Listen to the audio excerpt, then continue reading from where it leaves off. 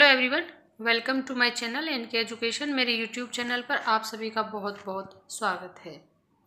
राष्ट्रीय पात्रता परीक्षा, नेट की तर्ज पर ही बिहार पात्रता परीक्षा ये बैट का आयोजन किया जाएगा। सहायक प्रोफेसर की नियुक्ति के लिए वैकेंसी आने वाली है, जिसका विज्ञापन एक दो दिन में रिलीज़ कर दिया जाएगा और आप सभी को देखने को मिल जाएगा।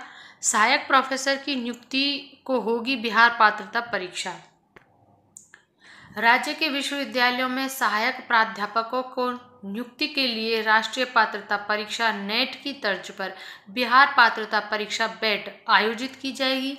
इसमें उत्तीर्ण होने वाले अभ्यर्थी राज्य के विश्वविद्यालयों में सहायक प्राध्यापक पद के पात्र माने जाएँगे।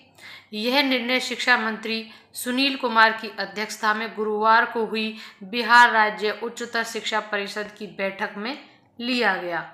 इस अवसर पर शिक्षा मंत्री सुनील कुमार ने बैठक में शामिल उच्च शिक्षा निदेशक को निर्देश दिया कि बिहार पात्रता परीक्षा बैट का पाठ्यक्रम सिलेबस अविलंब तैयार कराएँ। उन्होंने यह निर्देश भी दिया कि विश्वविद्यालयों में ऑनलाइन परीक्षा लेने की व्यवस्था लागू करने को लेकर प्रस्ताव तैयार करें ताकि उसे चरणबद्ध तरीके से राज्य के विश्वविद्यालय में लागू करने की कार्यवाही की जा सके। बैठक में राज्य के विश्वविद्यालयों में चार वर्षीय बीएड पाठ्यक्रम शुरू करने पर भी सहमति दी गई। कम से कम बैंक खाता रखें। यह भी एक अपडेट आ ही रहा है।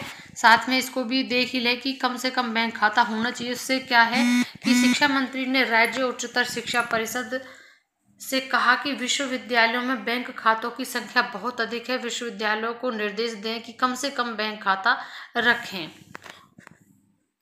अब इसका विज्ञापन जो रिलीज़ होना है, उसका समय एक या दो दिन बताया जा रहा है। जैसे ही इसका विज्ञापन रिलीज़ होता है, आपको हमारे ही चैनल पर देखने को मिल जाएगा। सो प्लीज़ बने रहिएगा। जो भी आप बैट की परीक्षा के लिए अपने आप को अर्ह मानते हैं, योग्य मानते हैं तो आप सहायक प्रोफेसर की नियुक्ति के लिए आवेदन कर सकते हैं, जिसके लिए आपको बिहार पात्रता परीक्षा का एग्ज़ाम देना होगा।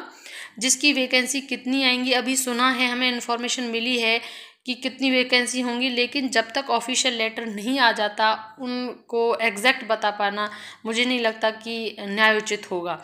पहले सबसे पहले ज़रूरी है कि ऑफिशियल जो नोटिस uh, होता है वो रिलीज़ हो जाए एंड देन उसके बाद हम आपको उसी के आधार पर बताएँगे कि कितनी वैकेंसी है किस डेट से होगी किस प्रकार उसमें आप आवेदन कर सकेंगे। बने रहिएगा। Thank you and thanks for watching